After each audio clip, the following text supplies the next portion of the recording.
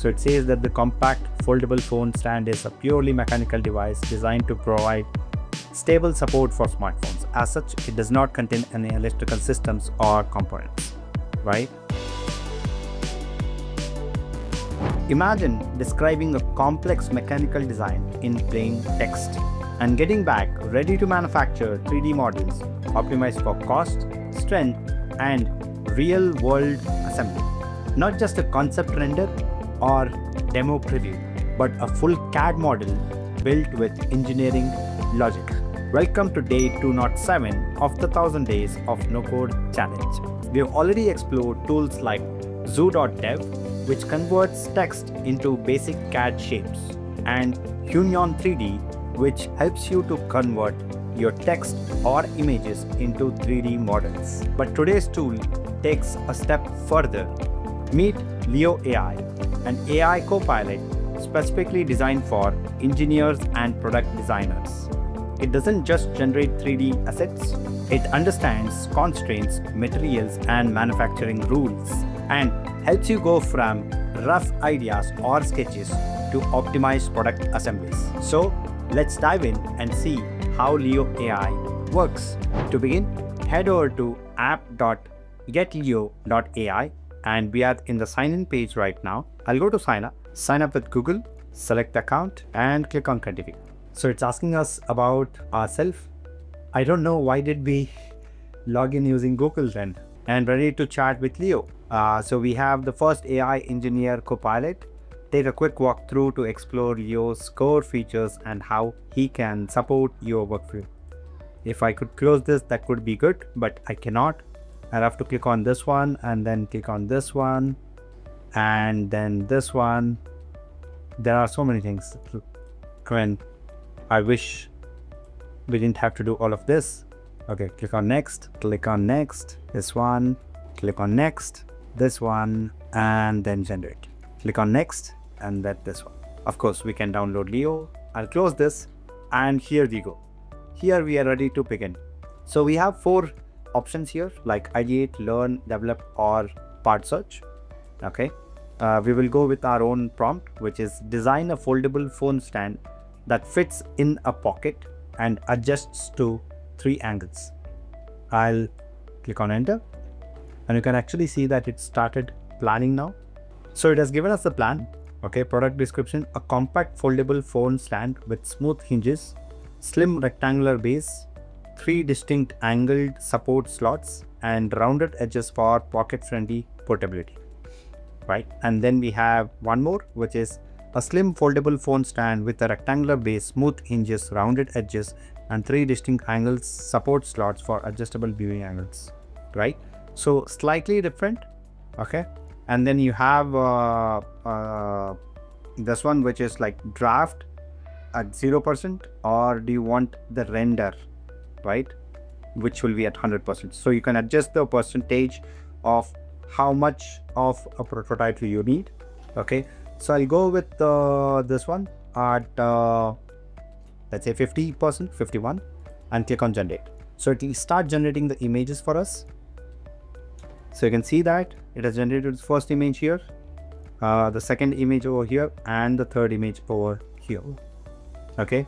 I think this one looks a bit more portable, right? So I'll click on this one and now I can actually I can either edit this, I can create different variants, I can upscale this image or I can generate a 3D model. So let me click on this one and there you go. So if I open this up now, I can actually see how this is designed. It looked very different when we saw it in 2D and now it looks a bit different. So we can give uh, some modification as well. Get more photo. So it started planning for it. So let's just close this. You can see it, it has given us this one. I'll go to render here click on generate and there you go. So we've got uh, this designs done. Uh, this one looks like a better one or maybe this one let's go with this one right and then we have uh, edit option, variance, upscale, or generate 3D. Not just that, right? So if you go to ideation over here, okay, this is a whole different ball game.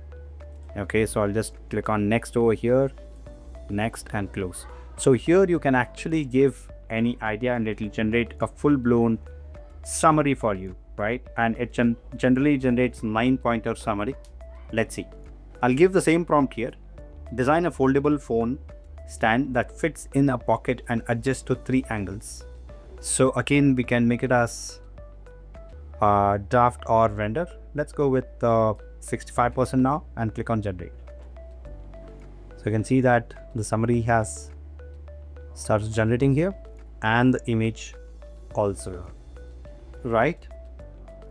View project doc. So when you open this up, you can see that it actually has given us nine pointers, right?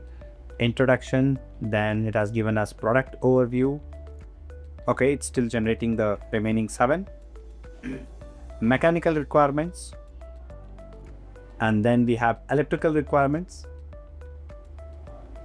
So it says that the compact foldable phone stand is a purely mechanical device designed to provide stable support for smartphones. As such, it does not contain any electrical systems or components, right? And then software requirements, again, not required. And interfaces and interactions, right? And seventh one is um, environment and conditions. Eighth one is safety and compliance. The ninth one would be uh, appendices, which is like general, drawing diagrams, and so on and so forth, right?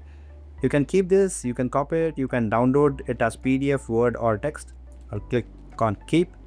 And then again with this diagrams, you can either edit, create variants, upscale or create 3D diagrams, just like how we saw in the chat. You would also do a sketch from here or you can upload your own image and then that will be converted into 3D diagrams as well. And that's Leo for you. The reason I covered a tool like Leo even after we covered zoo.dev and Hunyuan is because this is not just a 3D model generator, but it is an engineering assistant because it gives you an entire nine point documentation which tells what are the materials that need to be used and what are the electricals or softwares or any other things that might be required based on the prompt that you have given which could be a very good first step for your product engineer. So if that excites you even a bit, go and give Leo a try. And as always, let me know your experience in the comments below. Thank you for watching and I will see you in the next one.